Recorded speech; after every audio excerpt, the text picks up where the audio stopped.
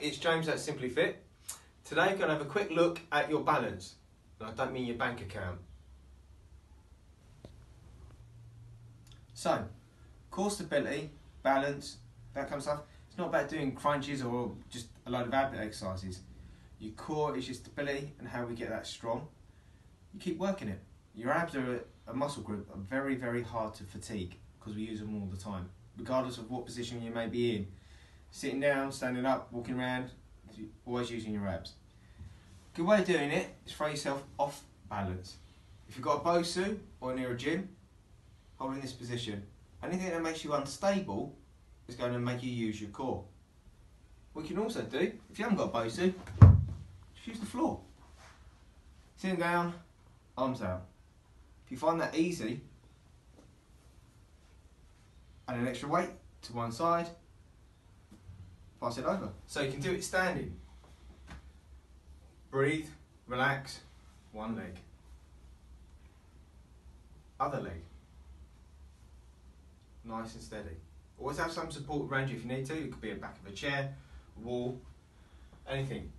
Build up confidence. Get it right. If you start finding that easy, take something in your hand. It could be anything. Again, get stability, get balance, practice. Abs. Anything where we challenge our core makes you work better, work with your posture. Make yourself unstable to become stable. You can also, back down to the floor, old fashioned plank. Like in a press up position, pull the abs in, nice and strong, and holding that. Making sure you're pulling your abs in and not just holding that position. Go down on your forearms as well. Pull the abs in. Anything that makes you unstable is going to work your core stability and your balance. On the ball,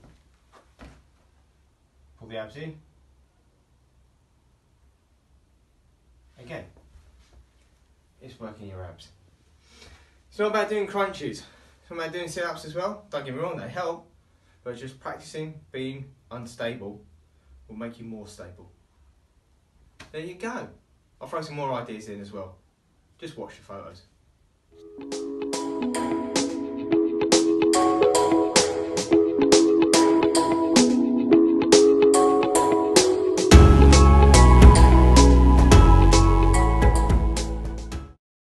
So there you have it. Some ideas of how to work your core strength.